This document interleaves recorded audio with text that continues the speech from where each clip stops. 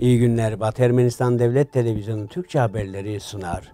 Batı Ermenistan Ulusal Meclisi üyelerinin resmi deklarasyonunu kısmen sunuyoruz. Nahçıvan'da bugüne kadar var olmayan askeri aktiflik gözleniyor. Ermenistan, belirginlik ve inanılmazlık bölgesinde. Bir sonraki Trump-Putin görüşmesi Washington'da gerçekleşebilir. Trump, Türkiye'nin Bornuson'u tahliye etmemesi tam bir rezalet, rehin tutuluyor. Suruç'ta katledilenler anıldı. Aşağıdaki esaslar göz önünde bulundurularak on binlerce yıldan bu yana Ermeni halkının büyük çoğunluğu Batı Ermenistan'da istikrar ve refah içinde birçok devlet inşa ederek ve zengin kültürel değerler yaratarak otokton, yerli bir halk olarak yaşamıştır.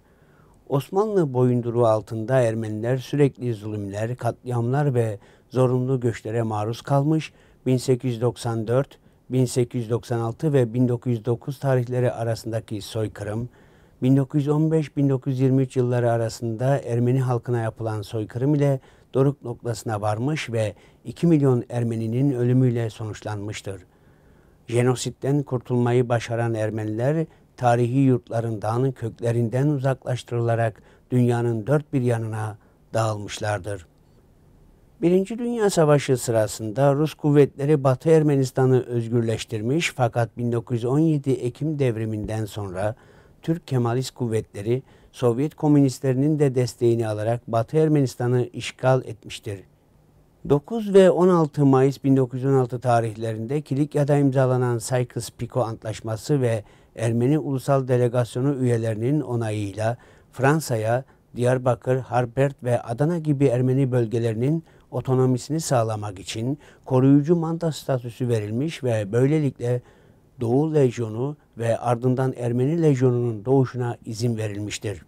Nahçıvan, Kars, Cavak ve Artsakh Karabağ gibi yerlerin ilhakından sonra 1991 yılına kadar Sovyetler Birliği'ne bağlı olarak yaşayan küçük bir Ermeni Sovyet devleti kurulmuştur. 30 Ekim 1918 Mondros Ateşkes ve 19 Ocak 1920'de de facto 11 Mayıs 1920'de de jure tanınmalardan sonra temelde Batı Ermenistan bölgesinde özgür, egemen ve bağımsız Ermenistan devleti tanındı. 10 Ağustos 1920'deki Sevr Antlaşması bir taraftan müttefik devletler, diğer taraftan Türkiye tarafından imzalanmıştır. Burada müzakere eden taraflardan Karin Erzurum, Trabzon, Van ve Bitlis illerini içine alan Türkiye ve Ermenistan arasındaki sınırların belirlenmesi sorunu, Ermenistan'ı denize ulaştıracak sorun ve ilgili sınırlardaki Türk tarafının silahsızlandırılması gibi sorunları içeren Amerika Birleşik Devletleri Başkanı'nın tahkim kararını kabul etmeleri ve sonra onu onaylamaları istenmektedir. Böylece şu çağrıda bulunuyoruz. Batı Ermenistan Ermenileri kendi Ermeni Ulusal Konseyi'nin himayesinde hareket etmelidir. Batı Ermenistan Ermenileri kendi kaderini tayin hakkı ve yasal bir devlet kurma hakkına haklı olarak değer verilmesi gereken kişilerdir. Doğu bilimci Rupen Safrasyan, Nahçıvan doğrultusunda Azerbaycan'ın aktifliğine değinerek bu durumun Azerbaycan'ın görüşmelerde Ermenistan üzerinde baskıda bulunmak için yeni ek bir manivela sağlamayı amaçladığını belirtti. Safrasyan şu ayrıntılarda bulundu. Şu anda Nahçıvan'da askeri faaliyet de dahil öyle bir aktiflik gözleniyor ki bu gerçeklik bu zamana kadar gözlemlenebilmiş değildi. Azerbaycan ve Türkiye'nin bunu aktif hale getirmesinin amacı nedir? Bunun Azerbaycan'ın Ermenistan'a görüşmelerde baskıda bulunmak için ek bir manivela alma şansı olduğunu düşünüyorum. Azerbaycan'ın amacı budur. Türkiye'nin amacı ise şudur.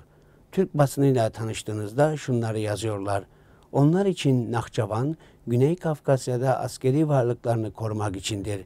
Diğer taraftan bu durum Türkiye'ye, Türkçe konuşan halklara daha bir yakınlaşma olanağı sağlamaktadır. Stanislav Tarasov, Ermenistan'ın NATO tatbikatlarına katılımına ve kendisine göre Moskova için anlaşılmaz olan Paşinyan'ın son zamanlardaki politikasına değindi. Tarasov, NATO'nun 1-15 Ağustos günlerinde gerçekleştireceği Değerli Partner 2018 adlı NATO üyesi ülkelerin katılacağı çok uluslu askeri tatbikata Gürcistan'ın ev sahipliği yapacağını kaydediyor. Bu yıl NATO'ya üye 30 ülke ve işbirliği devletlerinden 3000'den fazla askeri personel ile büyük çapta askeri ekipmanın katılacağı öngörülüyor. Savaş içerisinde bulunan Bakü ve Yerevan'ın NATO askeri tatbikatlarına katılarak partner devletler olması politisyen için bu paradoks olarak görülmektedir. Diğer taraftan Ermenistan Kolektif Güvenlik Antlaşması örgütü ile Avrasya Ekonomik İşbirliği üyesidir. Yani Azerbaycan'ın aksine Moskova'nın resmi müttefiki Rusya'ya karşı olan askeri manevralara katılıyor. Ermeni ve Türk askeri birliklerinin NATO tatbikatlarına ortak katılımları ayrıca enteresan bulunmaktadır. Tarasov, acaba Başbakan Nikol Paşinyan ve ekibi ülkenin vektörünü yavaş yavaş batıya çevirmeye mi karar verdi diye soru soruyor. Değil mi ki Moskova, Gürcistan'da gerçekleştirilen NATO'nun tüm askeri tatbikatlarını kendi ulusal güvenliğine yönelik saymaktadır. Bu nedenle Yerevan aynı anda iki sandalyeye oturma denemesinden vazgeçmelidir. Amerika Birleşik Devletleri Başkanı Donald Trump, Helsinki zirvesi sonrasında Rusya hakkındaki ifadelerinin yankısı sürerken yeni bir açıklama yaparak Rusya Devlet Başkanı Vladimir Putin ile yeni bir zirve daha düzenlemek istediğini belirtti. Konuya ilişkin açıklamayı Twitter üzerinden yapan Sanders, Başkan Trump, Ulusal Güvenlik Danışmanı John Bolton'dan Başkan Putin'i sonbaharda Washington'a davet etmesini istedi ve bu konudaki görüşmeler halihazırda sürüyor ifadesini kullandı. Helsinki'de 16 Temmuz'da gerçekleşen Trump-Putin görüşmesi çerçevesinde taraflar yaklaşık 2 saat boyunca ikili ve uluslararası sorunları ele aldıklarını hatırlatalım. Amerika Birleşik Devletleri Başkanı Donald Trump, Ekim 2016'dan bu yana Türkiye'de tutuklu bulunan rahip Andrew Bronson'un tutukluluk halinin devam etmesi kararına tepki gösterdi. Türkiye'nin Bronson'u tahliye etmemesi tam bir rezalet. Çok uzun zamandır rehin tutuluyor. Amerika Birleşik Devletleri Başkanı Donald Trump Twitter'den Cumhurbaşkanı Recep Tayyip Erdoğan'ı etiketleyerek Türkiye'nin Bronson'u tahliye etmemesi tam bir rezalet. Çok uzun zamandır rehin tutuluyor dedi. Trump verdiği mesajda şu ifadeler yer aldı. Türkiye'nin cezaevindeki saygın pastör Andre Bronson'u tahliye etmemesi tam bir rezalet. Çok uzun zamandır rehin tutuluyor. Erdoğan bu mükemmel Hristiyan aynı zamanda eş ve babanın serbest kalması için bir şey yapmalı. Yanlış bir şey yapmadı ve ailesinin ona ihtiyacı var. Trump'ın bu çağrısına ise Türkiye Dışişleri Bakanlığı'ndan yanıt geldi. Bakanlık sözcüsü Hami Aksoy, adli süreç hukukun üstünlüğü ilkesine uygun sürüyor. Ortada hukuki bir süreç var. Türkiye bir hukuk devleti dedi.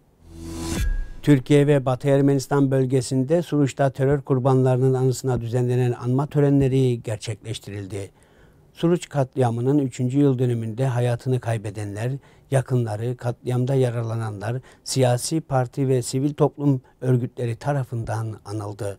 Şanlıurfa'nın Suruç ilçesinde Kobani'ye yardım götürmek üzere toplanan Sosyalist Gençlik Dernekleri Federasyonu üyelerinin basın açıklaması yaptığı sırada intihal saldırısı düzenlendi. IŞİD'in düzenlediği ifade edilen saldırı sonucu en az 33 kişi hayatını kaybetti, 104 kişi de yaralandı. Türk hükümet yetkililerinin bugüne kadar bu konunun üzerine gitmedikleri bilinmektedir. Bugün için bu kadarını öngördük. Şimdi size Sayat Nova'nın Aşharımız İmin Dunis adlı eserini sunuyoruz.